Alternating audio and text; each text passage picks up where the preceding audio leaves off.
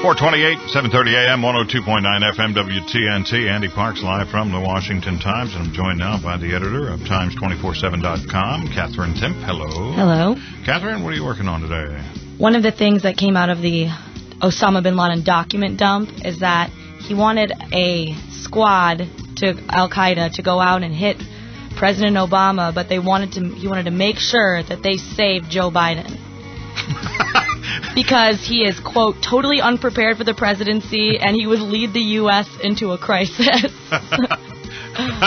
you know, on one hand, that's very sad. On the other hand, it's very. Even funny. out there in a cave in Pakistan, he knows what's up as, as far as this goes. But Yeah, no kidding. Oh, Oh. wow. What else?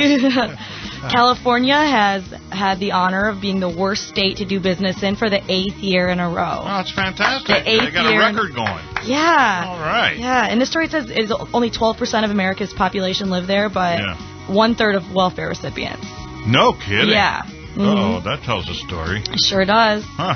Interesting stuff. All right, folks, check it out. If you haven't been to Times247.com, shame on you. Go there right now. Thanks, Katherine. We'll talk tomorrow. All right. Stay tuned. More to come. We're going to talk with Ed Kelley, the editor of the Washington Times, in just a few minutes, right here on 7:30 a.m., 102.9 FM, WTNT.